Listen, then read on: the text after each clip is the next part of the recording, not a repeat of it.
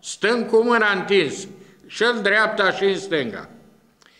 Iar uh, dacă o luăm așa, prin orientarea pe care au avut-o guvernanță, n-au făcut altceva decât au înrobit țara în datorii și acum se pregătesc în continuare să facă alte împrumuturi pentru a-și acoperi găurile pe care le-au creat și, bineînțeles, în, interes, în interesul lor.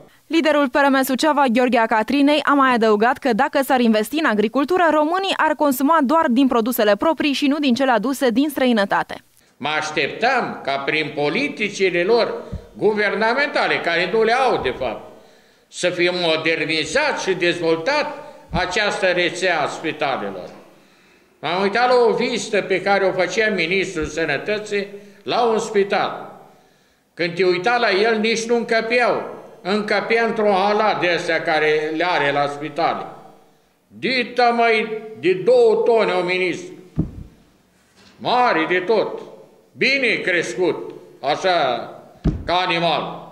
Dar ca mod de gândire, de dezvoltare a rețelei sanitare, de dotare, de grijă care să o aibă pentru sănătatea oamenilor, e chic.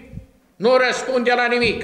Președintele Partidului România Mare, filiala Suceava, a mai precizat că PDL urmărește distrugerea națiunii, făcând tot posibilul să dispară spitalele, învățământul și cultura. A Catrinei a mai adăugat că până acum toate măsurile luate de portocalii au fost luate în interesul propriu.